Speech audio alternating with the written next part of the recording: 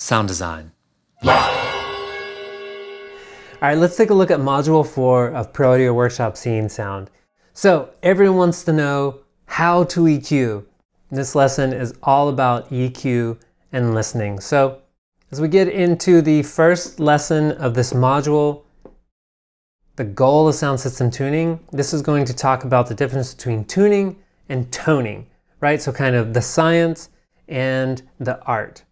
Um, you've got the mixing board over here where we're doing all the art, and then we've got the system processor over here and speaker position, aim, and system design over here.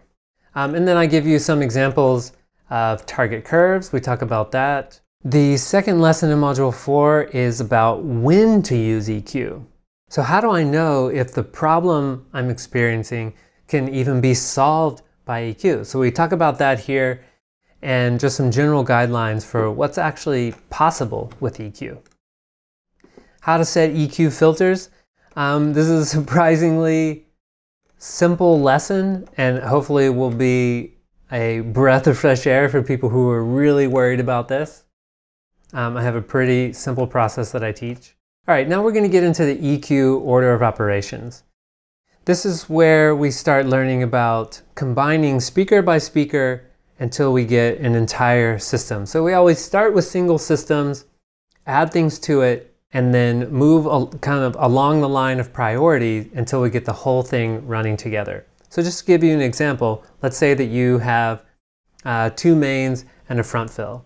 So you're going to start with one main, you're going to listen to that, EQ that, then you're going to turn the second one on and EQ those together, and then you're going to turn the front fill on, EQ those together. So we have a whole process here for deciding which speakers to EQ in what order. And this just talks about how to EQ that first single speaker and how to decide which one to start with. Next we move to speaker to speaker. So once we've EQ'd one speaker, now we're going to turn on another one together. And even if we stand right in front of that speaker, that second speaker on with it is generally going to affect it somehow, right? Even if it's not pointed in the same direction. So we're going to look at what um, measurement microphone positions do we need to use? And what is the order of operations here so that we can be efficient with our EQ, um, but also not create a monarchy. So one of the biggest problems with EQ is when people just put a microphone in front of house and say, okay, microphone on, entire system on, EQ filters, done.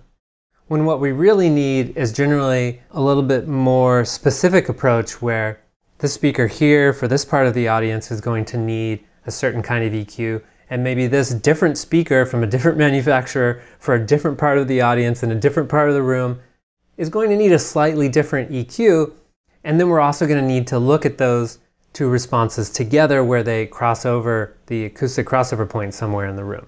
Once we've done a single speaker and then speaker to speaker, then we start to look at array to array and array to room. So you can see it just kind of gets bigger and bigger and what I really like about this process is it helps us really reduce the amount of chaos we have to deal with, right? So now we have a system for looking at this stuff and we're not trying to observe and fix 20 million problems from 20 million sources all at once. No, we're looking at one source at a time, combining those, making those work, and moving on to larger subsystems. That's the end of Module 4. So we made it all the way through EQ and listening, and in the next video I want to look at Module 5, which is crossover alignment. Sound design. Yeah.